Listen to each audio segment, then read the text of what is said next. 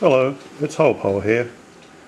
This is a first for me because it's the first time I've ever talked on uh, on one of these clips. I just wanted to tell you about my experience with the Class 14 teddy bear. And uh, as you can see in this picture, she arrived last Thursday and uh, from from Hattons in Liverpool and manufactured by Heljan. Now first of all I want to give all credit to Hattons and Heljan for producing um, this loco and giving us opportunity to have it on our layouts.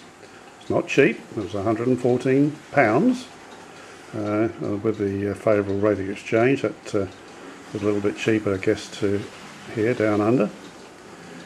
But uh, after I'd extricated it from the box um, the first thing that happened was um, I found that um, this keeper plate down one end uh, had come adrift and the back wheels were, well, whichever way they were when it came out of the box, they were literally hanging off.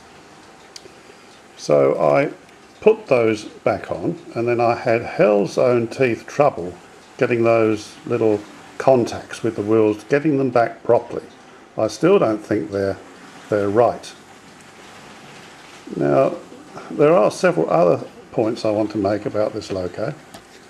And I'm going to run her for a couple of minutes in this clip and you can see for yourself. Um, she waddles a bit like a duck. Uh, there's a there's a, a definite knock in it now. Um, these wheels definitely don't seem to be very seem to be cheap and shoddy to me. There's a, a um, a hell of a lot of play in the in, in, in here which I don't know it doesn't seem right to me the um, these lights only work on one side, back and front. Now, I'm look, excuse my ignorance. I would have thought they work both sides, but perhaps they don't. Not supposed to. I don't know. I've heard people say they have hell's own teeth getting the, these uh, reporting numbers. You have to take the whole body off. Some people snap the central body doing it. And um, so I took the easy way out and um, I stuck the numbers on the front. Who the hell cares? But uh, just have a look at this too. Now, that looks to me as though that has been, there's a hole on the left, you see that, I don't know whether is that the exhaust pipe there perhaps, but there's a gap there now. Now that looks to me as though when it's assembled, that part has snapped off. The other thing was too, round here, these little duvers, the handrails here, they were hanging off. I've put those back the best I can.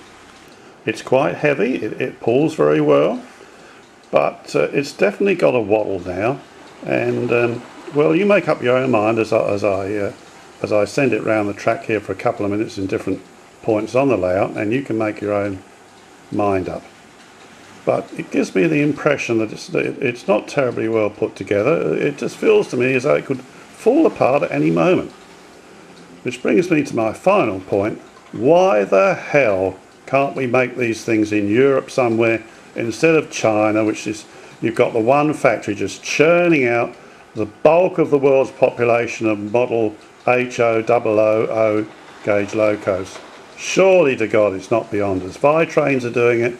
So why can't somebody take the take up the cudgels and just do it for heaven's sake? Uh, it's it's it, we're placing too much reliance on on the Chinese. I feel. But anyway, here we go. I'll put her on the track, and you can make up your own mind. Thanks for watching my clips, by the way, and all the best from Hollpoll.